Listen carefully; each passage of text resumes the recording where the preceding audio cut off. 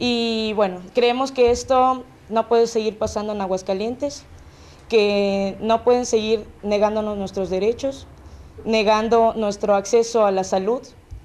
Y bueno, este lo tomamos como un acto de homofobia. Bueno, el cartel eh, es una campaña nacional y estuvo puesto eh, durante solamente cuatro días.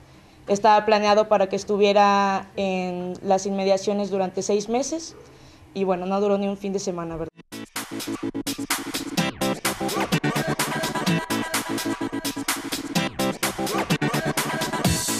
Exigimos la inmediata reinstalación de los espectaculares, eh, ya que, bueno, retirarlos, los, los retirarlos eh, valida los comentarios homofóbicos eh, promovidos por un sector no, no representativo de la población. Responsabilizamos al secretario de Salud, Francisco Esparza Parada, por autorizar el retiro de dichos espectaculares. exigimos una explicación del motivo del retiro así como que nos digan eh, quiénes son estos eh, grupos conservadores que exigieron se retirasen.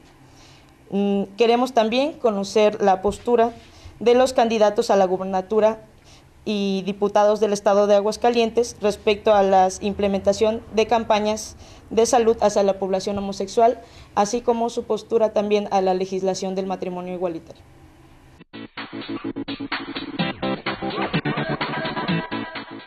pues todavía lo estamos pensando, lo estamos analizando.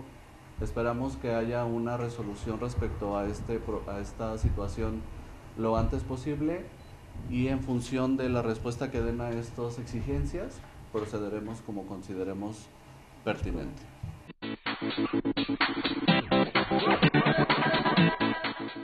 Estamos hablando del manejo de presupuesto federal, este no es dinero del Estado. Entonces, suspender una campaña que tiene recursos federales implica una responsabilidad de servidores públicos. Esto puede llevarse incluso al terreno de lo penal. Entonces.